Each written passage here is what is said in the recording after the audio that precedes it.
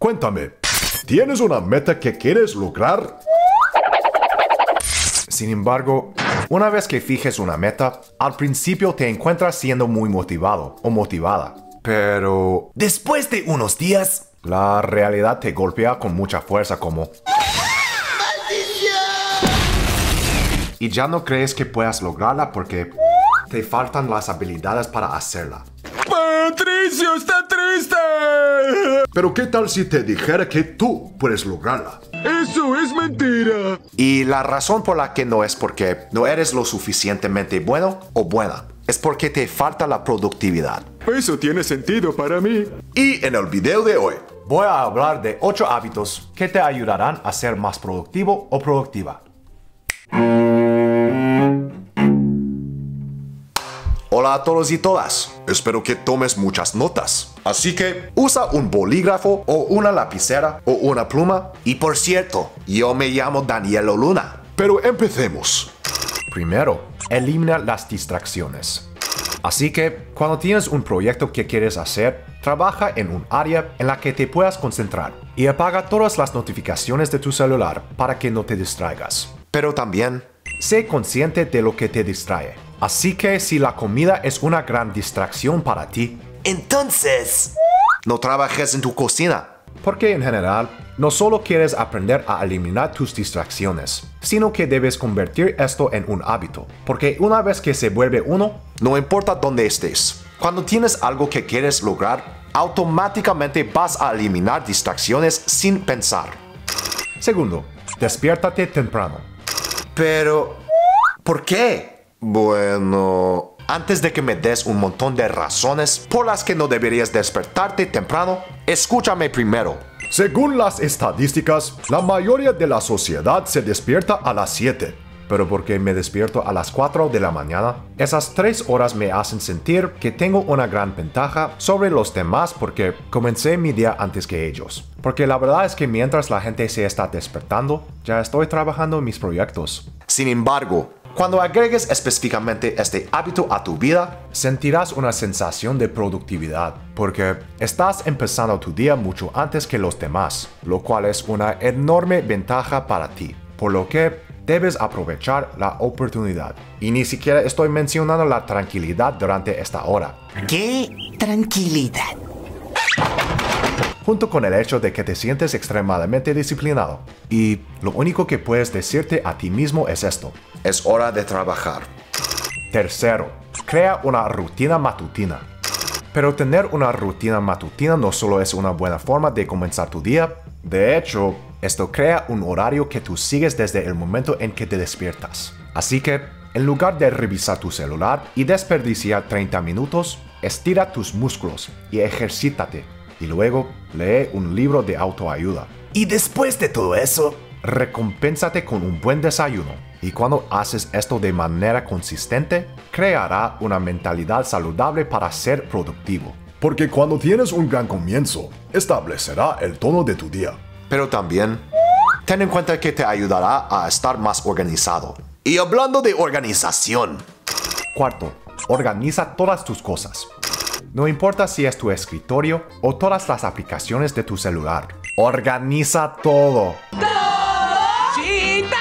Porque la organización te permite saber dónde está cada cosa. Y eso ahorrará tiempo.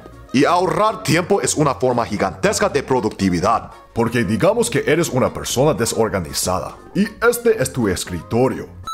Ok, en realidad no se ve demasiado desordenado. Pero... Digamos que se ve asqueroso como los pies del padre de Timmy. Y lo único que estás buscando son tus lentes. Así que pasas los próximos 30 minutos tratando de encontrarlos. Sin embargo, tan pronto como colocas tus manos en tu cara debido a la frustración, te das cuenta de que llevabas tus lentes todo este tiempo.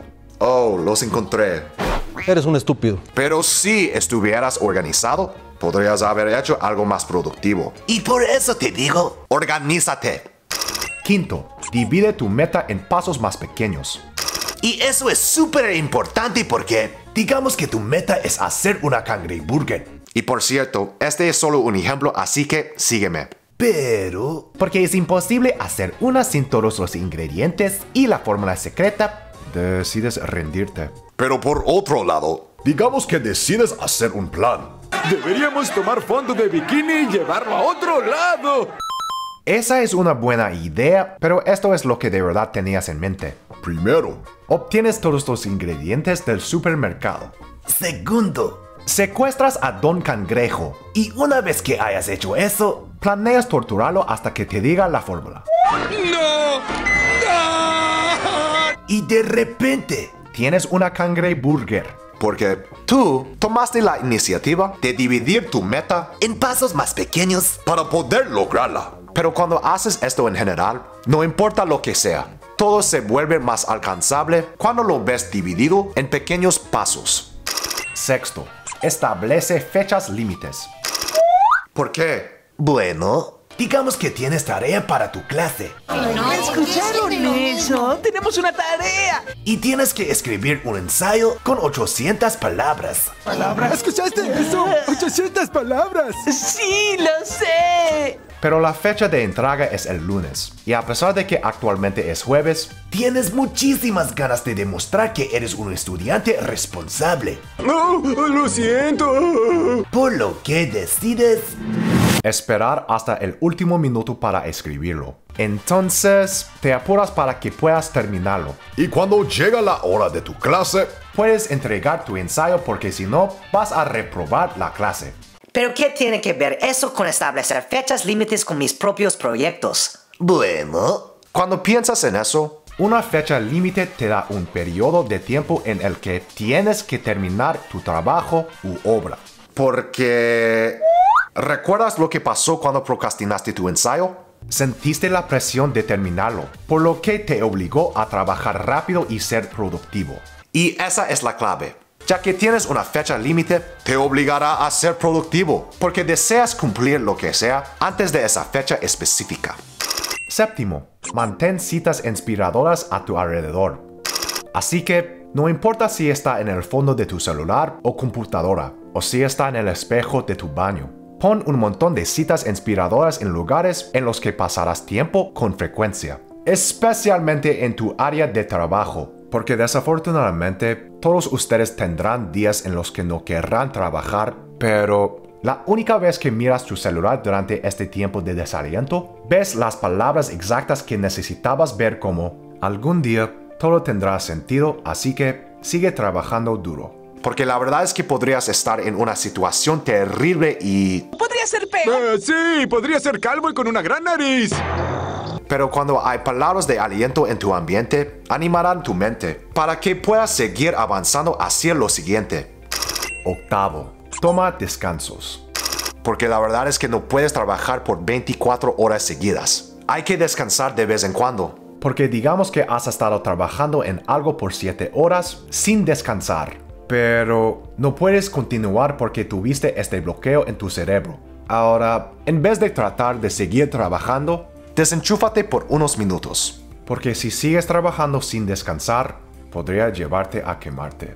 Así que, para evitar eso, toma un descanso.